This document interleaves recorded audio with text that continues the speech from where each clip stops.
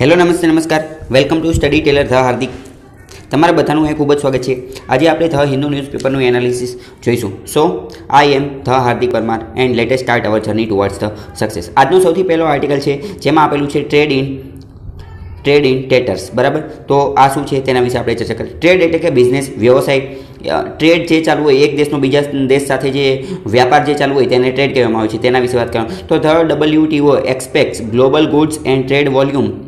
To slump by as much as thirty two percent in twenty twenty એટલે કે WTO WTO એટલે કે world trade ઓર્ગેનાઇઝેશને એવું કીધું છે કે બે હજાર વીસ સુધીમાં બત્રીસ ટકા ટ્રેડ જે છે, વિશ્વનો બત્રીસ ટકા ટ્રેડ એ ઘટી જશે. બરાબર? તો બત્રીસ ટકા એ ખૂબ મોટો આંકડો કહેવાય, ખૂબ મોટો આંકડો કહેવાય. બરાબર?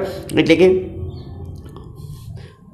ડબલ્યુટીઓ દ્વારા એવું કહેવામાં આવેલું છે કે વિશ્વનો બત્રીસ ટકા ટ્રેડ ઘટી જશે. બરાબર? આગળ જોઈએ તો આગળ શું કહેવા માંગેલું છે? કે અત્યારે માત્ર એક જ વસ્તુ ચોક્કસ છે. ધ ઓનલી સર્ટિનિટી એક જ વસ્તુ ચોક્કસ છે. The only certainty right now is a is a in a pandemic grip the world is that all envel enveloping uncertainty એટલે કે અત્યારે એક જ વસ્તુ ચોક, ચોક્કસ છે અને એનું નામ છે અચોક્કસતા એટલે કે અનસર્ટિનિટી અને આ જે કોવિડ નાઇન્ટીન જે છે તે બરાબર બીજું કાંઈ જ ચોક્કસ છે નહીં. બીજું અહીંયા શું કહેવામાં આવેલું છે? અહીંયા એક વર્ડ આપેલો છે ડિક્લાઇન ડિક્લાઇનનો મતલબ થાય ના. ડિક્લાઇનનો મતલબ શું થાય? ના પાડવી. ડિક્લાઇનનો મતલબ ના પાડવી. બરાબર? ડિક્લાઇન એટલે ના પાડવી. એક બીજો વર્ડ છે ઇંગ્લિશમાં refuse R F U S E રિફ્યુઝનો મતલબ પણ થાય ના પાડવી. રિફ્યુઝનો મતલબ પણ ના પાડવી. બરાબર? તો રિફ્યુઝ અને ડિક્લાઇન બંને સિમિલર વર્ડ છે. અને સેય નો અથવા તો સે નો એટલે કે ના પડ્યું તો આ ત્રણેય સિમિલર વર્ડ છે. અંગ્રેજીમાં પૂછાઈ શકે છે. આગળ જોઈએ હેલ્થ ક્રાઇસિસ બરાબર જો? તો ઘણા બધા લોકો આને આજે અત્યારે જે આ ઇકોનોમિક ક્રાઇસિસ આવેલું છે તેને બે હજાર આઠ નવની અંદર, બે હજાર આઠ નવની અંદર જ્યારે સબ પ્રાઇમ ક્રાઇસિસ આવેલું હતું, તેની સાથે કમ્પેર કરી રહ્યા છે, તેની સાથે સરખામણી કરી રહ્યા છે. જ્યારે ઘણા બધા લોકો ઓગણીસો ત્રીસની અંદર છે ગ્લોબલ ડિપ્રેશન આવેલું હતું, ગ્લોબલ ફાઇનાન્શિયલ ડિપ્રેશન આવેલું હતું, તેની સાથે કમ્પેર કરી રહ્યા છે. પરંતુ રાઇટર આની અંદર એવું કહેવા માંગે છે કે આ એકદમ અલગ જ વસ્તુ છે, આ એકદમ અલગ અલગ પરિસ્થિતિ છે. કેમ? કારણ કે આ ઇકોનોમિક ક્રાઇસિસ નથી, આ હેલ્થ ક્રાઇસિસ છે હેલ્થ ક્રાઇસિસ કેમ? કારણ કે ભૂતકાળમાં જ્યારે જે ક્રાઇસિસ એટલે કે ભૂતકાળમાં જે બધી સમસ્યાઓ આવેલી હતી, તો આ બધી સમસ્યાઓની અંદર શું હતું? જેમ કે જો સબ પ્રાઇમ ક્રાઇસિસ આવેલું હતું સબ પ્રાઇમ ક્રાઇસિસ તો આ હાઉસિંગ ક્ષેત્રે હતું. હાઉસિંગ એટલે કે બધા ઘર ને ઘર માટેની જે લોન ને એ બધું લીધેલું હતું, એને, એના ક્ષેત્રે હતું, બરાબર? તો આના કારણે શું થયું હતું? તો હાઉસિંગ સિવાયના બીજા જે ક્ષેત્રો હતા, બીજા ક્ષેત્રો કે મેડિસિન પછી રેલવે આ બધા જે બીજા જે ક્ષેત્રો હતા, તે તો ચાલુ હતા, બરાબર? પરંતુ અત્યારે તો શું છે? અત્યારે તો આ હેલ્થ ક્રાઇસિસ છે, એટલે આના કારણે બધા જ ક્ષેત્રો બંધ થઈ ગયા છે, બધા જ ક્ષેત્રો બંધ છે, બધી જ વસ્તુ બંધ છે, આખી દુનિયા બંધ થઈ ગઈ છે. આખું ભારત બંધ છે એવું કહેવું પણ ખોટું રહે છે, અત્યારે તો આખી દુનિયા બંધ થઈ ગઈ છે, કારણ કે દુનિયાના બધા જ દેશો લોકડાઉનની અંદર જતા રહ્યા છે. બરાબર? તો આ તમને ખબર હોય જોઈએ અહીંયા એક આપેલું છે વર્ષ. વર્ષનો મતલબ ખરાબ. વર્ષનો મતલબ શું થાય ખરાબ? અહીંયા એક જોઈએ બેડ પહેલો એક વર્ડ છે બેડ બેડ એટલે ખરાબ. બેડ કરતાં બેડ એટલે ખરાબ. પરંતુ આપણે એમ કહેવું હોય કે વધારે ખરાબ, તો તો તેને કહેવાય વર્ષ. ડબલ્યુ ઓ આર એસી વર્ષ. વર્ષ. અને આપણે કે બેડ એટલે ખરાબ. ખરાબ કરતાં પણ વધારે ખરાબ કેવું હોય? અતિ ખરાબ, તો વર્ષ. અને એની કરતાં પણ વધારે ખરાબ ખરાબ કેવું હોય કે અતિ અતિ અતિ ખરાબ. ખૂબ જ ખરાબ. તો એને કહેવાય વર્ષ. W O R S T બરાબર? જો આપણે એવું કહીએ કે વેરી બેડ વેરી બેડ કેવું? એની કરતાં વેરી બેડ એટલે કે ઘણું ખરાબ. વેરી બેડ કેવું? એની કરતાં શું કહેવાય? વર્ષ કહેવાય. એની એની કરતાં શું કહેવાય? વર્ષ અને વેરી વેરી વેરી બેડ કેવું? એની કરતાં શું કહેવાય? વર્સ્ટ બરાબર? તો બેડ વર્ષ અને વર્ષ બેડ એટલે ખરાબ વર્ષ એટલે અતિ ખરાબ અને વર્સ્ટ એટલે અતિ અતિ અતિ ખરાબ. આટલું તમે યાદ રાખજો. આગળ જોઈએ તો અહીંયા ડબલ્યુટીઓ અને જે બીજી વૈશ્વિક સંસ્થાઓ છે તેના દ્વારા એવું કહેવામાં આવે છે કે slump brought by and global financial crisis of twenty zero eight બે હજાર આઠની અંદર જે ગ્લોબલ ફાઇનાન્સ ક્રાઇસિસ આવેલી હતી કે જેને સબ પ્રાઇમ ક્રાઇસિસના તરીકે ઓળખવામાં આવે છે. એની કરતાં પણ વધારે વધારે ખતરનાક આ ક્રાઇસિસ હશે. કઈ? તો કે આ કોવિડ નાઇન્ટીનની જે છે. આઈએમએફના મેનેજિંગ ડિરેક્ટર કોણ છે તે અહીં આપેલું છે. આઈએમએફના મેનેજિંગ ડિરેક્ટર પણ આના વિશે ચિંતા જતાવી છે. તો આઈએમએફના મેનેજિંગ ડિરેક્ટર છે ક્રિસ્ટીના જિયોર્જિયા. Kristalina Georgieva. આ પણ તમને ખબર હોવી જોઈએ. આઈએમએફ એટલે કે ઇન્ટરનેશનલ મોનેટરી ફંડ એના વિશે હું તમને આગળ ડિટેલમાં ચર્ચા કરી દઈશ. બરાબર? તો તેણે પણ આના વિશે ચર્ચા જતાવી છે. સોરી ચિંતા જતાવી છે. પછી અહીંયા વર્ડ આપેલો છે કોમનવેલ્થ કોમનવેલ્થનો મતલબ શું થાય? કોમનવેલ્થનો મતલબ થાય કે પહેલાં જે બ્રિટનના ગુલામ હતા, બ્રિટનના જેટલા પણ દેશો ગુલામ હતા, તેમને આગળ જઈ અને એક ગ્રુપ બનાવી દીધું છે. તેને કોમનવેલ્થ કહેવામાં આવે છે. તો તેની અંદર ભારત, તો કે હા, હશે. પાકિસ્તાન હશે, શ્રીલંકા. મતલબ કે ભૂતકાળની અંદર ભારત પણ, આપણને ખબર હશે કે ઓગણીસો સુડતાલીસમાં ભારત બ્રિટન બ્રિટન એટલે કે બ્રિટનથી આઝાદ થયું યુકે, યુનાઇટેડ કિંગડમ, ભારત પહેલાં તેમનું ગુલામ હતું. બરાબર? તો જેટલા પણ લોકો ગુલામ હતા બ્રિટનના, તો ત્યાંની રાણી હતી ક્વીન એલિઝાબેથ. તેને તાજ માનતા હતા. બરાબર? ઓ, અઢારસો સત્તાવનની અંદર ભારતની અંદર ડાયરેક્ટ વિપ્લવ થયા બાદ ડાયરેક્ટ તાજનું શાસન આવી ગયું હતું. આ પણ તમને ખબર હશે. કંપનીનું શાસન ભારતમાં ક્યાં સુધી રહ્યું હતું? તો સત્તરસો સત્તરસો સત્તાવનથી અઢારસો સત્તાવન સુધી કોનું શાસન શાસન હતું? કંપનીનું. કઈ કંપનીનું? તો કે ઈસ્ટ ઇન્ડિયા કંપનીનું. East India company. બરાબર? અને અઢારસો સત્તાવનથી તાજનું, બ્રિટિશ તાજનું શાસન આવી ગયું હતું. બરાબર? તો જે બધા બ્રિટનના ગુલામ હતા, તેમને બધાએ ભેગા થઈ અને એક ગ્રુપ બનાવેલું છે. તેને કોમનવેલ્થ ગ્રુપ કહે છે. અને આ બધા ગ્રુપના દેશો ભેગા થઈ અને કોમનવેલ્થ ગેમ્સનું પણ આયોજન કરે છે. બરાબર? કોમનવેલ્થ ગેમ્સનું પણ આયોજન કરે છે. આ પણ તમને ખબર હોવી જોઈએ હવે જો, બીજી એક મહત્ત્વની વસ્તુ. પરંતુ એનો મતલબ એવો નથી કે કોમનવેલ્થ ગેમ્સ કોમનવેલ્થ જે કન્ટ્રી છે કોમનવેલ્થ દેશો, તેની અંદર માત્ર બ્રિટનના ગુલામ હતા. બધા તેવા દેશોનો સમાવેશ થાય છે. બધા તેવા દેશોનો સમાવેશ થાય છે, તે વાત સાચી. પરંતુ બે દેશ એવા છે કે જે બ્રિટનનું ગુલામ, બ્રિટનના ગુલામ ન હતા, તેમ છતાં પણ તેમનો આની અંદર તેઓ આ કોમનવેલ્થની અંદર જોડાયેલા છે. બરાબર? તો જો જીપીએસસી અથવા યુપીએસસી લેવલની પરીક્ષાની અંદર એવો ક્વેશ્ચન આવે કે કોમનવેલ્થની અંદર એવા જ સભ્યો જોડાયેલા છે કે જે બ્રિટનના ગુલામ હતા. બધા જ એવા દેશો છે, તો ખોટું પડી જશે. કેમ? કારણ કે બધા એવા દેશો નથી, બે દેશો અલગ છે. આ પણ તમને ખબર હોવી જોઈએ. જે ઝિમ્બાવે અને રવાંડા છે. બરાબર? હું શ્યોર નથી, પરંતુ મોટે ભાગે તો જિમ્બાવે અને રવાન્ડા જ છે.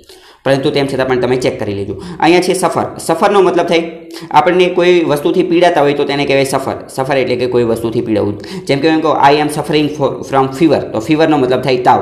એટલે કે હું તાવથી પીડાઈ રહ્યો છું. બીમારીથી જ્યારે આપણે પીડાતા હોય તો તેને કહેવાય સફર. અહીંયા એક ખૂબ સુંદર વર્ડ આપેલો છે ઓપ્ટિમિસ્ટિક ઓપ્ટિમિસ્ટિકનો મતલબ થાય આશાવાદી. આશાવાદી. એટલે કે આ બધું અત્યારે આ કોવિડ નાઇન્ટીનનું બધું ચાલી રહ્યું છે. તો આપણે અત્યારે એક જ વસ્તુ રાખી શકીએ છીએ. શું? આશા. એવી આશા રાખી શકીએ છીએ કે ભવિષ્યમાં બધું સારું થઈ જશે. ઓપ્ટિમિસ્ટિક એટલે કે આશાવાદી. આશાવાદી વિચારસરણી જે જે રાખતો હોય તેને કહેવાય ઓપ્ટિમિસ્ટિક આનો વિરોધી વિરોધી શબ્દ થાય પેસિમિસ્ટિક પેસિમિસ્ટિક બરાબર?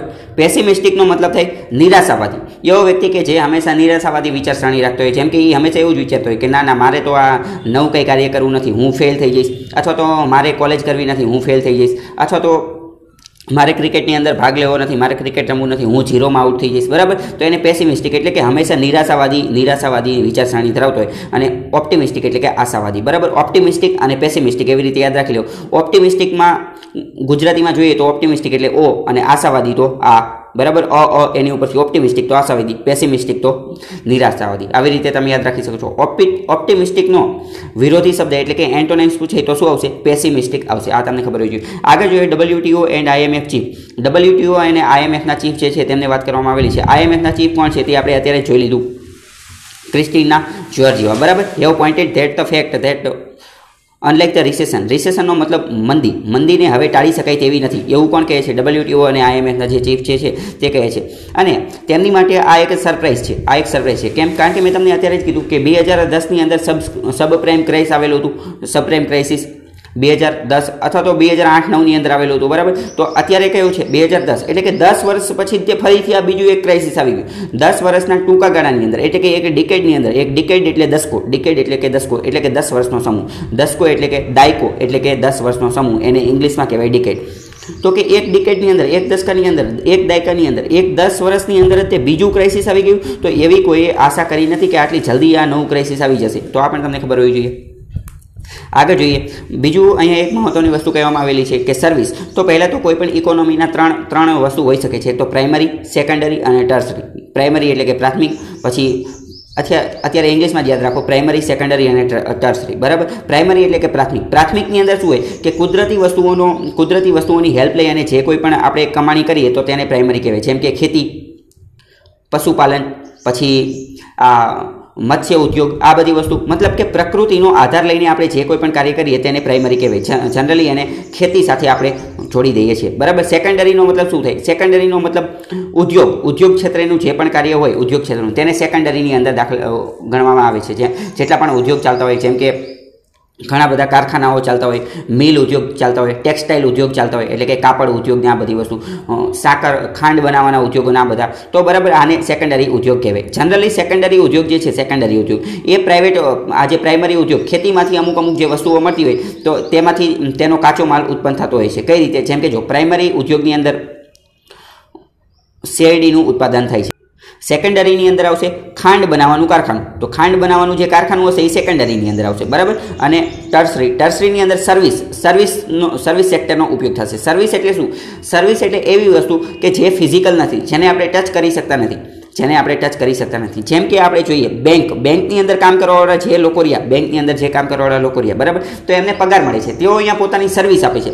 તેમના મગજની અંદર તેમના, તેમનું જે બ્રેઇન છે, બરાબર? તેનો ઉપયોગ કરીને, બરાબર? તે પોતાની સર્વિસ આપે છે. બીજી બીજી વસ્તુ છે. જેમ કે જો, હું અહીંયા તમને અત્યારે આ આ લેક્ચર ડિલિવર કરી રહ્યો છું. હું અત્યારે તમને ભણાવી રહ્યો છું. બરાબર? તો હું તમને કંઈ ફિઝિકલ વસ્તુ આપતો નથી. હું કંઈ વસ્તુ આપતો નથી. કે બરાબર? આ ચોપડી છે, આ લઈ જાઓ.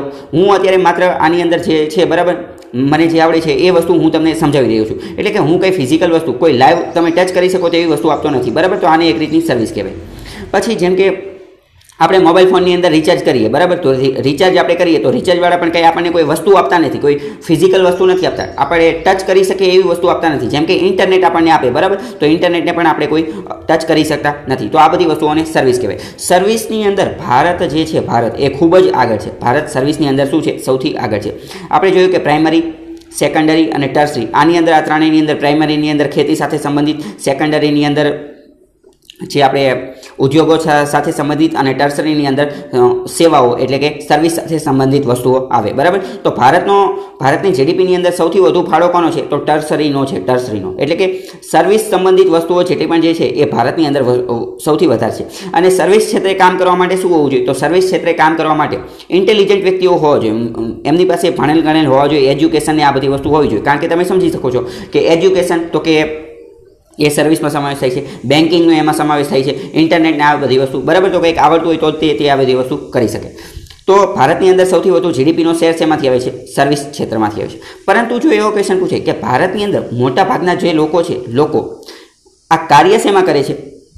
તો મોટાભાગના લોકો જે છે એ ખેતીમાં કાર્ય કરે છે. એટલે જો લોકોની સંખ્યાની દ્રષ્ટિએ જોઈએ તો સંખ્યાની દ્રષ્ટિએ સૌથી વધુ લોકો પ્રાઇમરી ક્ષેત્રે એટલે કે ખેતીમાં સંકળાયેલા છે અને પૈસા સૌથી વધુ શેમાં મળે છે? જીડીપીની અંદર તો તે સર્વિસ ક્ષેત્રમાંથી મળે છે. અહીંયા એક આંકડો આપેલો છે કે India has a higher global share.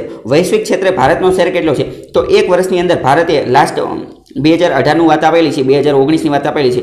તો બે, બસો ચૌદ બિલિયન ડોલરનો ભારતે એક્સપોર્ટ કરેલો હતો.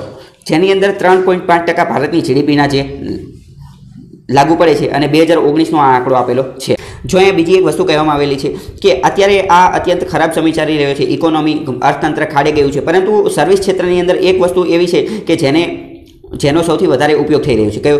Information and technology service, information and technology. આઈટીવાળા જેટલા લોકો છે, તેમની માટે અત્યારે આ એક સારો સમય છે. કારણ કે તેમને તો ઘરે બેસીને પણ કાર્ય કરે છે, કોમ્પ્યુટર ઉપર, ઇન્ટરનેટ ઉપર પોતપોતાની રીતે કાર્ય કરી શકે છે. જેમ કે જો આ લેક્ચર ડિલિવર કરવાનો છે, બરાબર? તો આ લેક્ચર હું મારા ઘરે બનાવી અને બધા, તમે લોકો પણ પોતપોતાની રીતે યુટ્યુબની અંદર જોઈ શકો છો, બરાબર? તો આ એવી રીતની વસ્તુ છે. આઈટી ક્ષેત્ર જે છે, તે ખૂબ સારી વસ્તુ છે. તો હવે કદાચ ભવિષ્યની અંદર જ્યારે લોકડાઉન એ બધું ખુલશે, તો બધા લોકો જે છે, એ પોતપોતાની રીતે આઈટી ક્ષેત્રમાં જવાની કોશિશ કરશે, બરાબર? અથવા તો જો અત્યારે ઘણા બધાએ જો શરૂ કરી પણ દીધું છે, જો અહીં આપેલું છે કે order essential drug online and socialize remotely જેમ કે એનો મતલબ શું? કે અત્યારે ઘણી બધી દવાઓ જે છે, દવાઓ એ પણ આપણે ઓનલાઈન મંગાવી શકીએ છીએ કે મેડિકેર ને ઘણા બધા એપ્લિકેશન એ બધા છે ઈ ફાર્માન આવી બધી એપ પણ છે. તો આ બધાની ઉપરથી શું? આપણે ખાલી દવાઓનું જે પ્રિસ્ક્રિપ્શન જે છે, એટલે કે ડૉક્ટરે જે લખીને આપેલું હોય, એનો ફોટો પાડીને મોકલી દેવાની. તો જે દવા ડાયરેક્ટ આપણે ઘરે આવી જાય છે. તો અત્યારના આ જે ક્રિટિકલ સમય, આ જે ખરાબ સમય જે છે, ત્યારે આવી application IT application information and technology માટેની જે એપ્લિકેશન જે છે, તે ખૂબ મહત્ત્વની સાબિત થઈ રહી છે. બરાબર? ડ્રગ્સ ઓનલાઈન અને સોશિયલાઇઝ રિમોટલી સોશિયલાઇઝ રિમોટલી એનો મતલબ શું? કે આપણે અત્યારે કોઈની પાસે લાઈવ જવું હોય, કોઈને, કોઈનો આપણે ચહેરો જોવો હોય, તો આપણે ડાયરેક્ટ વીડિયો કોલ કરી શકીએ છીએ, અથવા વીડિયો મિટિંગ પણ કરી શકીએ છીએ. ઝૂમ ઝૂમ નામની એપ્લિકેશનથી અને આ બધી અલગ અલગ એપ્લિકેશનથી આપણે વીડિયો કોલને આ બધી વીડિયો મિટિંગ્સને આ બધી વસ્તુ પણ કરી શકીએ છીએ. બરાબર? ઝૂમ જે વીડિયો કોન્ફરન્સિંગ એપ જે છે, તેના વિશે હું એક અલગથી વીડિયો બનાવવાનો છું, તો તે પણ તમે જોઈ શકો છો. બરાબર? તો આ બધી વસ્તુ જોઈ શકે છે. અહીંયા બીજો એક વર્ડ આપેલો છે ઓવરસીઝ ઓવરસીઝનો મતલબ શું થાય? સીનો મતલબ થાય દરિયો. અને ઓવરનો મતલબ પાર. ઓવરસીઝનો મતલબ થાય દરિયાની પેલે પાર દરિયાની પેલે પાર અને એકદમ દેશી ભાષામાં કહીએ તો ઓવરસીઝનો મતલબ થાય દરિયાની પેલે પાર એટલે ભારતની બહારના જે લોકો રહેતા હોય તેને ઓવરસીઝ કહેવાય. બરાબર? તો ભારતની અંદર ઘણા બધા એવા લોકો પણ રહેતા હશે. ફોર એક્ઝામ્પલ માની લઈએ, ભારતની અંદર કોઈ એ નામનો કોઈ એવો વ્યક્તિ રહેતો હશે કે જેનો બિઝનેસ ભારતની બહાર ચાલતો હશે. ભારતની બહાર ચાલતો હશે. બરાબર? તો એનો જે બિઝનેસ છે તેને ઓવરસીઝ ક્લાયન્ટ તો બારે જે વ્યક્તિ હશે, બરાબર? તો તે એનો બી નામનો ક્લાયન્ટ હશે, ભારતની બહાર, બરાબર? જેમ કે ઇન્ડિયા અને અમેરિકાની અંદર કોઈ તેનો ક્લાયન્ટ બેઠો હશે, તો તેને ઓવરસીઝ ક્લાયન્ટ કહેવાય છે ઓવરસીઝ ક્લાયન્ટ ઓવરસીઝ ક્લાયન્ટ એટલે કે દરિયાની પેલે પાર, એટલે કે ભારતની બહાર જે હોય તે. બરાબર જો ડબલ્યુટીઓ એટલે કે વર્લ્ડ ટ્રેડ ઓર્ગેનાઇઝેશનના ચીફનું નામ પણ અહીં આપેલું છે, રોબર્ટો અઝેવેડો રોબર્ટો અઝેવેડો, બરાબર? ડબલ્યુટીઓના ચીફ કોણ છે? Roberto Azevedo. તો આ આર્ટિકલની અંદર આટલી વસ્તુ હતી. આગળનો આર્ટિકલ જોઈએ, તો સીઝ ફાયર સીઝ ફાયર શું છે? સીઝ ફાયરનો મતલબ થાય યુદ્ધ વિરામ સીઝ ફાયરનો મતલબ થાય યુદ્ધ વિરામ બરાબર? યુદ્ધ વિરામ તો સીઝ ફાયરનું ઉલ્લંઘન કરવામાં આવેલું છે વાયોલેશન તેનું કરવામાં આવ્યું છે વાયોલેશન એટલે કે તેનું ઉલ્લંઘન કરવામાં આવેલું છે કોના દ્વારા? પાકિસ્તાનમાં. અત્યારે આ ખરાબ સમય છે, તો તેની અંદર પણ પાકિસ્તાન દ્વારા આવી વસ્તુ કરવામાં આવેલી છે, તો તે ખરાબ વસ્તુ છે. અહીં એક ડિફેન્સ મિનિસ્ટર ભારતના ભારતના ડિફેન્સ મિનિસ્ટરનું નામ આપેલું છે, રાજનાથસિંહ. તે તમારે યાદ રાખવાનું છે. અને ડિફેન્સ સ્ટેટ મિનિસ્ટર કોણ છે? તો ડિફેન્સ સ્ટેટ મિનિસ્ટર છે શ્રીપદ નાયક શ્રીપદ નાયક. અને ભારત અને પાકિસ્તાન વચ્ચેની જે અથડામણ, પાકિસ્તાન દ્વારા જે સીઝ ફાયરનું ઉલ્લંઘન કરવામાં આવેલું છે વાયોલેશન કરવામાં આવેલું છે, યુદ્ધ વિરામનું વાયોલેશન તે ભારતે આર્ટિકલ ત્રણસો સિત્તેર, જમ્મુ કાશ્મીરમાંથી ત્રણસો સિત્તેર નંબરની કલમ હટાવી, તેની પછી વધી ગયું છે. બરાબર? આવી બધી વસ્તુઓ આપવામાં આવેલી છે. આખા આર્ટિકલની અંદર શું છે? તે હું તમને કહી દઉં, પણ એની પહેલાં આ એક વસ્તુ જોઈ લઈએ કે ભારત અને પાકિસ્તાનની બે રીતની બોર્ડ છે. એક તો એલઓસી એટલે કે લાઇન ઓફ કંટ્રોલ અને બીજી છે આઈબી આઈબી એટલે કે ઇન્ટરનેશનલ બોર્ડર ઇન્ટરનેશનલ બોર્ડર જે છે ઇન્ટરનેશનલ બોર્ડર તેને તો આખું વિશ્વ માને છે યુનાઇટેડ નેશન્સ પણ માને છે, પરંતુ વિવાદ એલઓસી લાઇન ઓફ કંટ્રોલની સાથે સંબંધિત છે. એલઓસી ઉપર ભારત એમ કહે છે કે આ ભારતનો ભાગ છે, પાકિસ્તાન એમ કહે છે, પાકિસ્તાનનો ભાગ છે. બરાબર? એટલે કે ભારતની પાકિસ્તાન સાથે બે પ્રકારની ઇન્ટરનેશનલ બોર્ડર છે. એક તો એલઓસી લાઇન ઓફ કંટ્રોલ અને એક તો ઇન્ટરનેશનલ બોર્ડર આ તમને ખબર હોવી જોઈએ. જમ્મુ કાશ્મીર સાથે પણ સંબંધિત છે. તો હવે જો આખી સ્ટોરીની અંદર શું હતું એ હું તમને કહી દઉં, આખા આર્ટિકલનો જીસ્ટ શું હતો તે હું તમને કહી દઉં. તો અત્યારે શું થયું છે કે પાકિસ્તાનનું આર્મી પાકિસ્તાનના આર્મી જે છે તે એક એવું કાર્ય કરી રહ્યું છે પાકિસ્તાનના પંજાબની અંદર. જો પંજાબ નામનો જે, પંજાબ જે છે એ ભારતની અંદર પણ છે અને પાકિસ્તાનની અંદર પણ છે. અને પંજાબ પ્રાંત જે છે પાકિસ્તાનનો પંજાબ પ્રાંત, એટલે કે રાજ્યને ત્યાં પ્રાંત કહે છે. રાજ્યને એટલે કે પાકિસ્તાનનું જે પંજાબ રાજ્ય જે છે, તે ત્યાંનું બહુ સારું સુખી રાજ્ય છે. બરાબર સુખી. બીજા બધા અમુક બલી બલુચિસ્તાન ને આ બધા રહ્યા, તે દુઃખી રાજ્યો છે. ત્યાં એટલી બધી સુખ સાહેબી છે નહીં. પંજાબ થોડુંક સુખી છે. બરાબર? અને ભારતના પંજાબ સાથે તે તેની બોર્ડર શેર કરે છે. આ પણ તમને ખબર હોય તો આ બધી જગ્યા જે છે, ત્યાંથી પાકિસ્તાનની આર્મી દ્વારા કોરોનાના જે પોઝિટિવ દર્દીઓ છે, કોરોનાના પોઝિટિવ દર્દીઓ, એને ભારતની અંદર, ભારતના જમ્મુ કાશ્મીરની અંદર લાવવામાં આવેલા છે. અને કોરોના જે વાયરસ છે, તે ભારતમાં ફેલાવાનું કાર્ય કરવામાં આવી રહ્યું છે, આવું કાર્ય. તો ભારતે આ અટકાવવું જોઈએ અને પાકિસ્તાને પણ સમજવું જોઈએ કે અત્યારે માનવતા દાખવવાનો સમય છે. કયો માનવતા? અને અત્યારે આ યુદ્ધનું ને બધું કંઈ કાર્ય કરવાની જરૂર છે નહીં. બરાબર? તો આવું પણ પાકિસ્તાને આવું કાર્ય કરવું જોઈએ નહીં. અને ભારતે પણ થોડુંક એલર્ટ થઈ જવું જોઈએ અને આ સીઝ ફાયરનું એ બધું પણ ભારતે જોવું જોઈએ. ડિફેન્સ મિનિસ્ટરને એ બધાએ ધ્યાન રાખવું જોઈએ. બીજું આગળ જોઈએ. આગળનો આર્ટિકલ જોઈએ. તો આગળનો આર્ટિકલ જે છે, તેના વિશે કે wanted a collective nation national endeavour એન્ડેવિયરનો મતલબ થાય પ્રયત્ન. એન્ડેવિયરનો મતલબ શું થાય? એન્ડેવિયરનો મતલબ પ્રયત્ન. અથાગ પ્રયત્ન કરવા. બરાબર? કલેક્ટિવ નેશનલ એટલે કે રાષ્ટ્રની અંદર કલેક્ટિવ એટલે કે બધાનો સાથ સહકાર લઈ જેમ કે ભાજપ સરકાર કહે છે, સબકા સાથ, સબકા વિકાસ. તો અત્યારે બસ એ એ સૂત્રને સાર્થક કરવાનો વિષય આવી ગયો છે કે બધાને સાથે લઈ અને ચાલવાની જરૂર છે. રાજ્યને અપોઝિશન પાર્ટી એટલે કે વિરોધ પક્ષને, બધા રાજ્યોને અને પક્ષની અંદર પણ જેટલા લોકો છે, અથવા તો જે કોઈ એકેય પક્ષ સાથે પોલિટિકલ ક્ષેત્રે જોડાયેલા નથી, પણ તેમ છતાં પણ જો તેમને કંઈક ખબર પડતી હોય ડૉક્ટર અથવા તો કોઈ તજજ્ઞ, તો તે બધા લોકોને પણ સાથે લઈને ચાલવાની જરૂર છે. અહીંયા આપણે જોઈએ તો કે central government central government claims that જો સેન્ટ્રલ ગવર્મેન્ટ કેન્દ્ર સરકાર એવું કહેવામાં આવે છે કે જો આપણે આ લોકડાઉન ન કરેલું હોત, આપણે આ લોકડાઉન ન કરેલું હોત, તો અત્યારે એપ્રિલ પંદર સુધીમાં એપ્રિલ પંદર સુધીમાં આઠ લાખ લોકો ઇન્ફેક્શિયસ આઠ લાખ લોકો જે છે તે કોરોનાથી ઇન્ફેક્ટ થઈ ગયા હોત. અને અત્યારે હાલમાં આઠ હજાર જેટલા લોકો છે, એવું કેન્દ્ર સરકાર દ્વારા કહેવામાં આવે છે. પરંતુ આ આર્ટિકલમાં રાઇટર એમ કહેવામાં આવે છે we are not told how this projection have been made બરાબર? એટલે કે આ જે આઠ લાખ લોકો હોત ને અત્યારે આઠ આઠ હજાર જ છે, તો આ તેમને કઈ રીતે કીધું છે? એ એની માટેનું કોઈ સબૂત કે પ્રૂફ આપેલું નથી. બરાબર? They seem to have been conjured out of thin air to justify the lockdown, બરાબર? રાઇટર દ્વારા એવું કહેવામાં આવે છે કે આ માત્ર ખાલી એક મોટી મોટી ખાલી કહી દીધેલો છે, મોટો મોટો આંકડો બતાવી દીધેલો છે કે જેનાથી લોકડાઉનને જસ્ટિફાઈ લોકડાઉનને સાબિત કરી શકાય લોકડાઉન અમે કર્યું એ સારું કર્યું એવું કહી શકાય એ કહેવામાં આવેલું છે, બરાબર?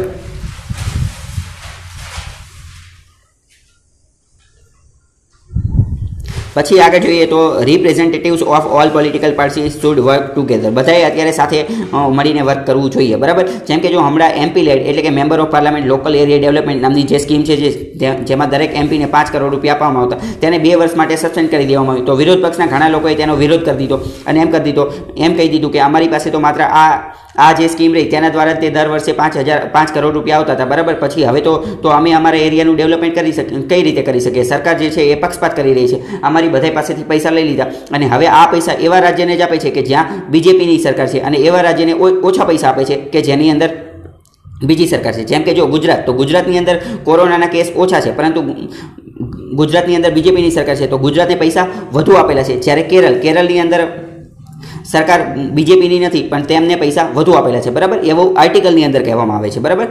આગળ જોઈએ. તો આગળ જોઈએ, તો આગળ આપેલું છે કે we must open our doors as wide as possible એટલે કે આપણે બધા વ્યક્તિઓ માટે દરવાજો ખોલવો જોઈએ અને જે બેસ્ટ માઇન્ડ દુનિયાની, ભારતની અંદર જે બેસ્ટ માઇન્ડ છે, તેમને અત્યારે બોલાવવો જોઈએ અને તેમની, તેમને શું વિચારીએ? સ્કિલ્ડ પર્સન અને આ અત્યારે આ ક્રિટિકલ પરિસ્થિતિમાં શું કરવું જોઈએ તે બધી વસ્તુની વાત કરવી જોઈએ અને આમાંથી નીકળવાનું સમાધાન લાવવું જોઈએ. એવું આની અંદર કહેવામાં આવેલું છે. તો આગળનો આર્ટિકલ જોઈએ. આગળનો આર્ટિકલ જે છે એ ફેક ન્યૂઝ વિશે છે. બરાબર? એક્ઝામના પોઈન્ટ ઓફ વ્યૂથી એટલો મહત્વનો છે ને કે ફેક ન્યૂઝને કઈ રીતે કોમ્બેટ કરવી જોઈએ? ફેક ન્યૂઝ વિશેના આપણે આગળ પણ ઘણા બધા આર્ટિકલ જોયેલા છે. એટલે કંઈ મહત્વનો છે નહીં. પછી જો આગળ અહીંયા આ વુમન સેફટી આ મહિલાઓની સેફટી વિશે વાત કરવામાં આવે ડોમેસ્ટિક વાયોલન્સ આના પહેલાં, આની વિશે આપણે આગળ પણ એક આર્ટિકલ જોયેલો છે, તો અત્યારે બીજી વાર આર્ટિકલ આપેલો છે કે વુમન સેફટી એટલે કે મહિલાઓની સુરક્ષા વિશે વાત કરવામાં લોકડાઉનમાં મહિલાઓની સુરક્ષાનું શું, તેની વાત કરવામાં આવેલી છે. તો step to protect victims of domestic violence must be made a part of the anti COVID nineteen agenda એટલે કે કોવિડ નાઇન્ટીન સામે લડવાની જે વસ્તુ છે કોવિડ નાઇન્ટીન સામે લડવાના આપણે જે એજન્ડા બનાવેલો છે, કે આઇસોલેશનમાં રહેવાનું ક્વોરન્ટાઇનમાં રહેવાનું લોકડાઉન કરવાનું આ બધી વસ્તુ તો ઠીક છે. તો આની સાથે સાથે એક પોઈન્ટ આની અંદર એ પણ ઉમેરવાનો છે કે મહિલાઓની સુરક્ષાનું શું? વુમન્સ સેફટી તેને પણ આની અંદર એડ કરવાની જરૂર છે. એવું રાઇટર કહેવા માંગે છે. બરાબર? અહીંયા જો, અહીંયા આપેલું છે કે રાઇટર દ્વારા પહેલાં તે શરૂઆતમાં જ એવું કહેવામાં કહેવામાં આવેલું છે કે જ્યારે કોઈ પણ વસ્તુ થાય, બરાબર? કઈ કઈ કઈ વસ્તુ થાય? તો કે યુદ્ધ થાય નેચરલ ડિઝાસ્ટર એટલે કે કોઈ કુદરતી આપત્તિ આવી જાય, જેમ કે પૂર ધરતીકંપ કે અથવા કોઈ પણ પ્રકારની પેન્ડેમિક ગમે એ પ્રકારની વસ્તુ થાય, યુદ્ધ નેચરલ ડિઝાસ્ટર કે પેન્ડેમિક ત્યારે હંમેશા સૌથી વધુ સહન કોને કરવાનું હોય છે? તો તે વિમેન્સ બોડી એટલે કે મહિલાઓને તે તેની વસ્તુ સહન કરવાની આવે છે. સૌથી વધુ ભાર કોની ઉપર આવે છે? સૌથી વધુ વજન, સૌથી વધુ સહન કરવાનું જો કોઈ ઉપર આવતું હોય, તો તે વુમન્સ બોડી મહિલાઓ ઉપર સહન કરવાનું આવે છે. એવું આર્ટિકલની અંદર કહેવામાં આવેલું છે. અને અત્યારે આ જે પેન્ડેમિકની અંદર આ લોકડાઉન આપેલું છે, તો તેના કારણે પણ મહિલાઓ ઉપર થતા ડોમેસ્ટિક વાયોલન્સ એટલે કે ઘરેલું હિંસાનું પ્રમાણ વધી ગયું છે. તે શા માટે વધી ગયું છે? એ આપણે આગળના એક આર્ટિકલની અંદર ચર્ચા કરી ચૂક્યા છીએ, બરાબર? અને ભારતની અંદર તો શું શું કહેવામાં આવ્યું છે કે domestic violence against women is already wide spreaded and under reported in India under reported under રિપોર્ટેડનો મતલબ શું? કે આ ડોમેસ્ટિક વાયોલન્સ ભારતની અંદર થાય તો છે, પણ એ એટલા બધા રિપોર્ટ થતા નથી. પોલીસ સ્ટેશને જઈ અને રિપોર્ટ થતા નથી. શા માટે રિપોર્ટ થતા નથી? કારણ કે મહિલાઓ હંમેશા એવું સમજે છે કે આના કારણે તેમની ઇજ્જત જતી રહેશે. જો આવી રીતે રિપોર્ટ કરવામાં આવશે રિપોર્ટ લખવામાં આવશે, તો તેમના ઘરની વાત ઘરમાં નહીં રહે અને બહાર જતી રહેશે અને તેમની ઇજ્જતની ધજિયા ઉડી જશે અને આવી બધી સમાજ આવી વસ્તુઓને સ્વીકારશે નહીં અને એના કારણે તેઓ ફરિયાદ કરતા અને તે બધી વસ્તુથી ડરે છે, એવું કહેવામાં આવેલું છે. યુનાઇટેડ નેશન્સ દ્વારા શું કહેવામાં આવેલું છે આ વિશે? યુનાઇટેડ નેશન્સ શું છે તે તમને ખબર છે? ઓગણીસો પિસ્તાલીસમાં તેની સ્થાપના થઈ હતી. યુનાઇટેડ નેશન્સ દ્વારા recognises domestic violence against women as a shadow pandemic shadow pandemic શેડોનો મતલબ શું થાય? પડછાયો. જ્યાં આપણે જઈએ જ્યારે દિવસ હોય, ત્યારે આપણે જે જે જગ્યાએ જઈએ, બરાબર? તો હંમેશા આપણો પડછાયો આપણો પીછો કરે જ છે. તો આ એક શેડો પેન્ડેમિક છે. કોવિડ નાઇન્ટીનનો પેન્ડેમિક તો છે જ તે, બરાબર? તો તેની સાથે સાથે શેડો પેન્ડેમિક કયો છે કે મહિલા ઉપર જે ત્રાસ ગુજારવામાં આવે છે તે. અને આ ખાલી ભારતની જ વાત નથી, બરાબર? ખાલી ભારતની જ વાત નથી. China, Australia, France, UK, Spain, Bangladesh, આ બધી જગ્યાએ આવી વસ્તુઓ ચાલુ છે, બરાબર? બીજું, હોમ. અહીંયા એક ખૂબ સુંદર વાત આપેલી છે કે home not safe for many એટલે કે અત્યારે કોવિડ નાઇન્ટીનનો સમયગાળો છે, વાતાવરણની અંદર વાયરસ રહેલો છે, બહાર નીકળવી તો વાયરસથી ઇન્ફેક્ટ થઈ જવાના ચાન્સીસ રહેલા છે. મતલબ તો અત્યારે સૌથી સુરક્ષિત વસ્તુ કઈ છે? ઘર.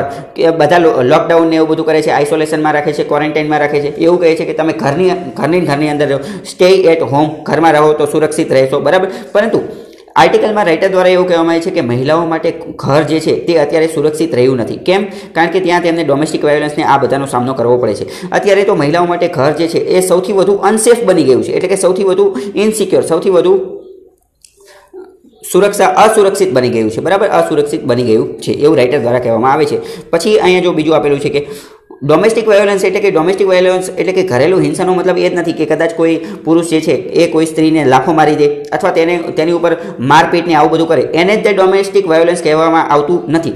આર્ટિકલની અંદર રાઇટર દ્વારા ખૂબ મોટા પરસ્પેક્ટમાં ખૂબ વિશાળ ફલક ઉપર ડોમેસ્ટિક વાયોલન્સને દર્શાવવામાં આવેલું છે. મતલબ કે ખાલી મારપીટ કરવી, લાફો મારવો, આ બધી વસ્તુથી તે ડોમેસ્ટિક વાયોલન્સ થતું નથી. પરંતુ કઈ કઈ રીતે? વર્બલ એટલે કે શાબ્દિક રીતે, શબ્દોથી બોલીને શબ્દોથી બોલીને પણ શબ્દોથી ખરાબ મેણા ટોણા મારીને બોલીને પણ ડોમેસ્ટિક વાયોલન્સ થઈ શકે છે. પછી ફાઇનાન્શિયલ પૈસા, પૈસાની છૂટ આપવાની નહીં, પૈસા લઈ લેવાના, મહિલાઓ પાસેથી જેટલા પૈસા હોય એ બધા લઈ લેવાના, પૈસા વાપરવાની છૂટ નહીં આપવાની, આવી રીતે પણ ડોમેસ્ટિક વાયોલન્સ થઈ શકે થઈ શકે છે. સાયકોલોજીકલ સાયકોલોજીકલ એટલે કે તેની તેના શરીર વિશે અથવા તો કે તેમની મનોવૈજ્ઞાનિક, માનસિક રીતે તેમને ટોર્ચર કરવું, પછી સેક્સ્યુઅલ સેક્સ્યુઅલ સેક્સ્યુઅલ. સેક્સ્યુઅલ એટલે કે શારીરિક રીતે પણ તેમનું શોષણ થઈ રહ્યું છે, તેમના શરીર દ્વારા શોષણ કરાવાઈ રહ્યું છે. બરાબર? તો આ બધી જ વસ્તુઓ ડોમેસ્ટિક વાયોલન્સ એટલે કે ઘરેલું હિંસાની અંદર દાખલ થઈ છે. કઈ કઈ વર્બલ એટલે કે શાબ્દિક રીતે કરવું ફાઇનાન્શિયલ ફાઇનાન્શિયલ એટલે કે નાણાકીય સ્વતંત્રતા ન આપવી અથવા નાણાં પૈસાના બધું આપવું નહીં. બરાબર? આની સાથે સાથે મેડિકલ મેડિકલ આસિસ્ટન્ટ એટલે કે મેડિકલ છે તે દવાના બધી વસ્તુ આપવી નહીં. દવા હેલ્થની એ આ બધાથી દૂર રાખવી. બરાબર? સાયકો સાયકોલોજીકલ એટલે કે માનસિક રીતે અથવા મનોવૈજ્ઞાનિક રીતે, સેક્સ્યુઅલ, બરાબર? એટલે કે શારીરિક રીતે. આ બધી જ વસ્તુઓ ડોમેસ્ટિક વાયોલન્સની અંદર તેનો સમાવેશ થાય છે. તો આ તમને ખબર હોવી જોઈએ. બીજું જોઈએ, જો આર્ટિકલની અંદર બીજું તો કે આવું શું થાય છે? આવું થવાનું મેઇન કારણ છે ફ્રસ્ટ્રેશન ફ્રસ્ટ્રેશન એટલે કે હતાશા. ઘરની અંદર છે, ઘરની અંદર બધા લોકો છે, તો કંઈ બીજું કંઈ કાર્ય મળતું નથી. અમુક એવા લોકો છે કે જેને રોજે દારૂ પીવા જોઈએ છે, બરાબર? તો દારૂને એ બધી વસ્તુ અત્યારે મળતું નથી. તો તેની આ જે હતાશા, તેનું આ જે ફ્રસ્ટ્રેશન છે, તે વુમન એટલે કે મહિલાઓ ઉપર કાઢવામાં આવે છે. મેન્ટલ હેલ્થ ઇસ્યુ માનસિક માનસિક રોગ માનસિક રોગથી જે પીડાતા હોય, બરાબર? તો તેની પણ ફ્રસ્ટ્રેશન તેની પણ હતાશા મહિલાઓ ઉપર ઉપર ઉતારવામાં આવે છે. એવું આર્ટિકલમાં રાઇટર કહેવા માંગે છે. બરાબર? તો આ બીજું જો, બીજું અહીંયા એક ખૂબ સુંદર વસ્તુ આપેલું છે કે સ્પેન અને ફ્રાન્સની અંદર શું કરવામાં, સ્પેન અને ફ્રાન્સની અંદર શું આવે કે મહિલાઓ જે છે, મહિલાઓ બહાર આવે અને ફાર્મસી એટલે કે જે મેડિકલની દુકાન હોય, ત્યાં છે અને એવું કહે કે માસ્ક નાઇન્ટીન, ત્યાં જઈ અને એવું કહે માસ્ક નાઇન્ટીન, એટલે આ એક પ્રકારનો કોડવર્ડ છે, એટલે ફાર્મસીવાળો, દુકાનવાળો, મેડિકલવાળો જે છે, તે ખબર પડી જાય કે આ મહિલાઓ ઉપર કોઈ અત્યાચાર કરવામાં આવેલો છે ડોમેસ્ટિક વાયોલન્સ કરવામાં આવેલો છે, એટલે તે ડાયરેક્ટ તે પોલીસને અથવા જે ઓથોરિટી હોય, તેને જાણ કરી દે છે, તેને જાણ કરી દે છે. બરાબર? તો આ એક વસ્તુ તમે સારી આન્સર રાઇટિંગમાં ઉપયોગ કરી શકો છો. માસ્ક નાઇન્ટીન બરાબર? પરીક્ષામાં તો પૂછાવાની શક્યતા ઓછી છે.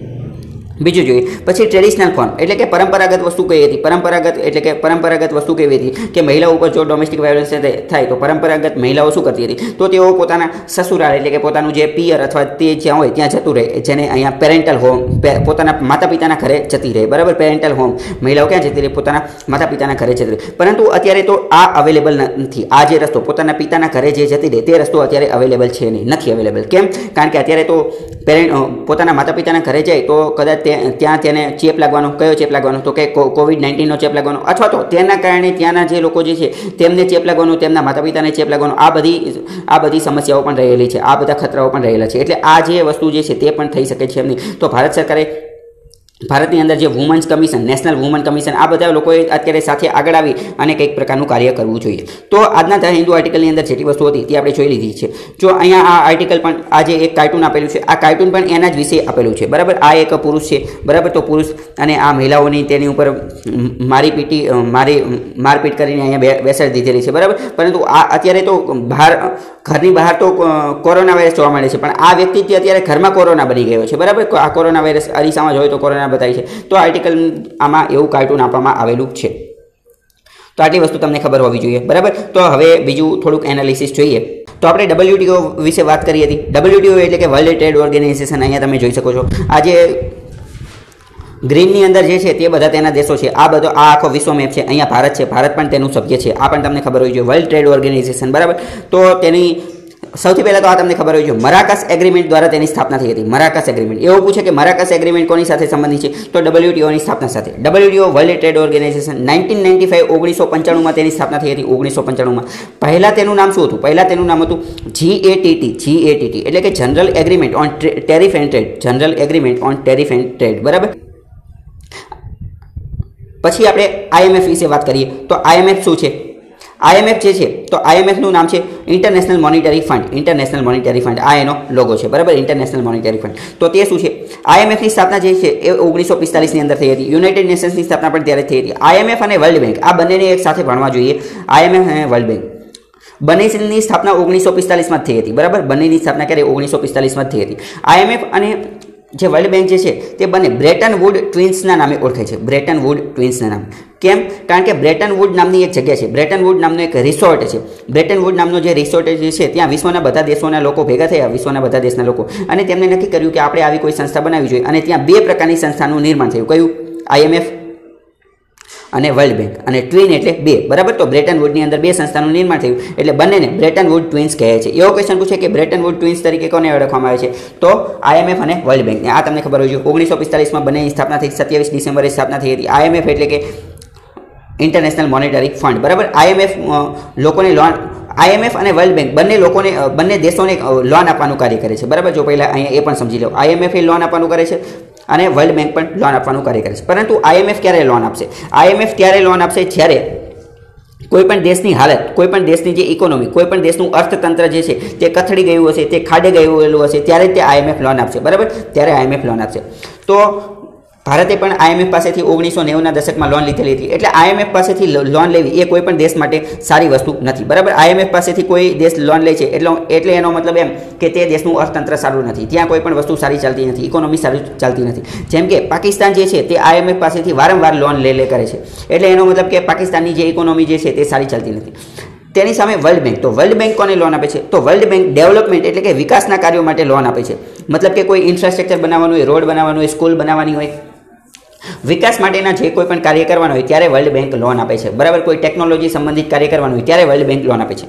બરાબર? એટલે એનો મતલબ એમ કે વર્લ્ડ બેંક પાસેથી લોન લેવી સારી વસ્તુ છે. કેમ? કારણ કે વિકાસ આપણે ક્યારે કરીએ? ડેવલપમેન્ટ આપણે ક્યારે કરીએ? જ્યારે આપણું અર્થતંત્ર સારું હોય, લોકોને ખાવા પીવાની બધી વસ્તુ મળી રહેતી હોય વિકાસ ઉપર આપણે ક્યારે જઈએ? જ્યારે આપણે જીવન જરૂરિયાતની વસ્તુ બધી મળી જતી હોય, પછી આપણે વિકાસ ઉપર જઈએ. વિકાસ નેક્સ્ટ સ્ટેપ આગળનું પગલું છે. બરાબર? એટલે કે અત્યારે તમે એવું યાદ રાખી શકો છો કે આઈએમએફ પાસેથી લોન લેવી સારી વસ્તુ નથી. એક અર્થતંત્ર માટે કેવી છે? ખરાબ વસ્તુ. જ્યારે વર્લ્ડ બેંક પાસેથી લોન લેવી સારી વસ્તુ છે. આ તમે સમજી શકો છો. ભારત વર્લ્ડ બેંક પાસેથી વારંવાર લોન લે છે.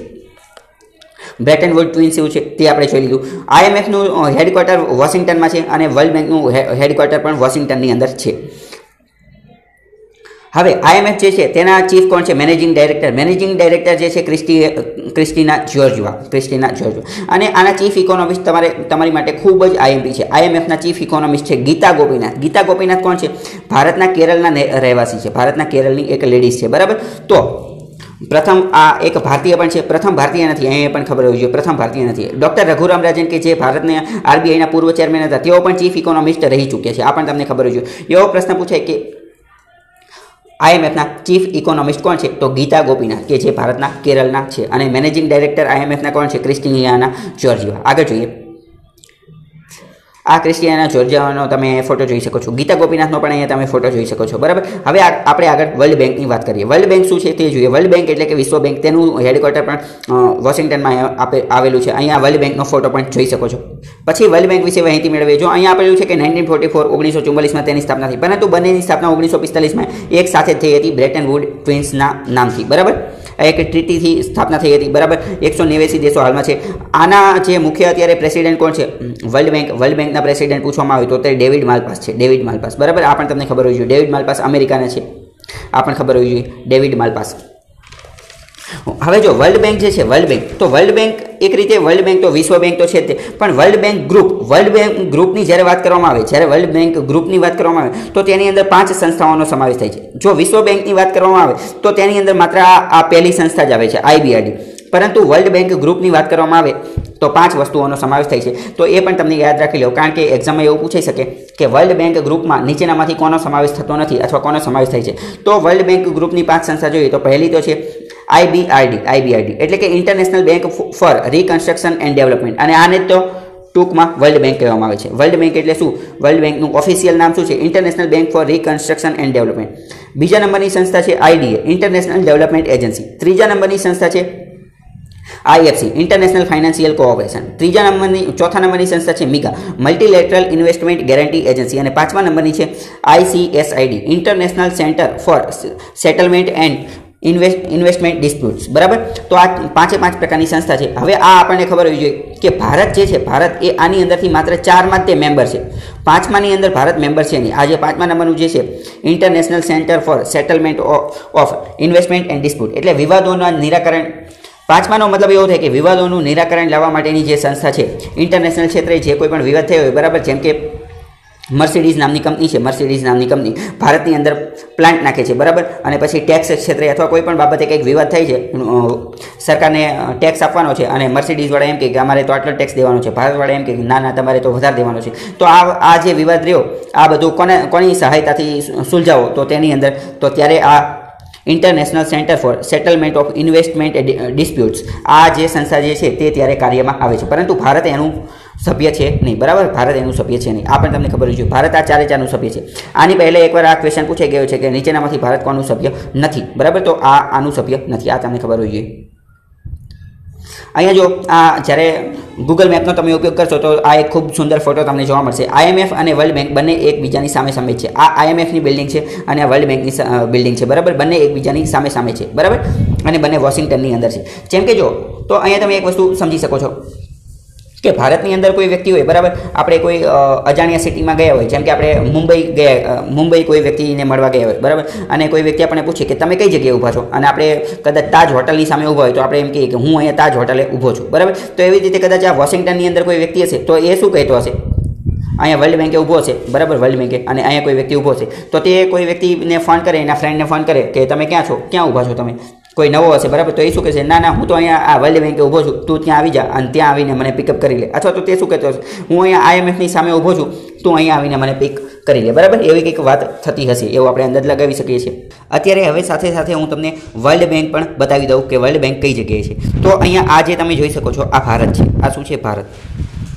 બરાબર? અને આ જે દેખાય, આ આખું બ્લુ જે દેખાય બ્લુ આ આખું પાણી છે અથવા તો સમુદ્ર છે. તો આ અરબ સાગર છે, આ આખો, આ અરબ સાગર છે, આ બંગાળની ખાડી છે અને આ આખો જે છે, આ આખો એ હિન્દ મહાસાગર છે. એટલે કે ઇન્ડિયન ઓશન અરબ સાગર અને બંગાળનો, બંગાળની ખાડી જે છે, એ હિન્દ મહાસાગરનો જ ભાગ છે. કોનો? હિન્દ મહાસાગરનો જ ભાગ છે. આખો હિન્દ હિન્દ મહાસાગર છે. આ તમને ખબર હશે. તો આ ભારત છે. આ શું છે? ભારત. તો એ ભારતથી જ્યારે આપણે વર્લ્ડ બેંક બાજુ અથવા તો આઈએમએફ બાજુ જવું હશે, તો વર્લ્ડ બેંક અને આઈએમએફ બંને ક્યાં છે વોશિંગ્ટનમાં અને વોશિંગ્ટન ક્યાં છે અમેરિકામાં. તો ભારતથી આપણે આ તરફ જઈએ, પશ્ચિમ તરફ, બરાબર પશ્ચિમ તરફ. પશ્ચિમ તરફ જવું એટલે આ બધું આ આફ્રિકા ખંડ, આ આખો આફ્રિકા ખંડ છે, બરાબર? આ આખો આફ્રિકા ખંડ છે, આ હિન્દ મહાસાગર છે. તો ભારતથી હિન્દ મહાસાગર પાર કરવો પડશે પહેલાં, પછી આફ્રિકા ખંડ પાર કરવો પડશે, તો આ બાજુ આપણે જઈ રહ્યા છીએ, બરાબર? તો એ બાજુ જઈએ. અને આફ્રિકા ખંડ પાર કરી અને આપણે અહીંયા પહોંચીશું, અહીંયા આફ્રિકા ખંડને પાર કરીશું અને આ એટલાન્ટિક મહાસાગર છે. કયો? આ એટલાન્ટિક મહાસાગર છે. આ એટલાન્ટિક તો પહેલાં આફ્રિકા ખંડ પાર પાર કરવો પડશે? પછી એટલાન્ટિક મહાસાગર પાર કરશું. એટલે આ જે આવશે આ આ અમેરિકા ખંડ છે. આ જે આખો રહ્યો આ અમેરિકા ખંડ છે. બરાબર? ઉત્તર અમેરિકા ખંડ છે. અને આ જે રહ્યું આ આખું અમેરિકા છે. બરાબર? આ આખું અમેરિકા છે. અને અમેરિકાના વોશિંગ્ટન તરફ આપણે જોઈએ તો આ રેડ જે છે તે છે. બરાબર? આપણે ઝૂમ કરીએ.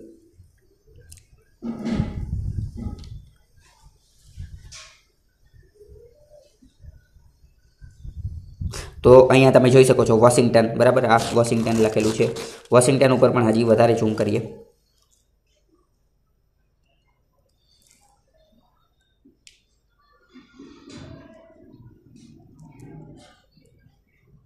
તો અહીંયા હવે તમે જોઈ શકો છો. આ જે છે, આ આઈએમએફ છે ઇન્ટરનેશનલ મોનિટરી ફંડ એ લખેલું છે અને આ વર્લ્ડ બેંક છે, ધ વર્લ્ડ બેંક ગ્રુપ અહીંયા એ પણ લખેલું છે, બરાબર? તો આવી રીતે તમે યાદ રાખી શકો છો ખૂબ લાંબા સમય સુધી.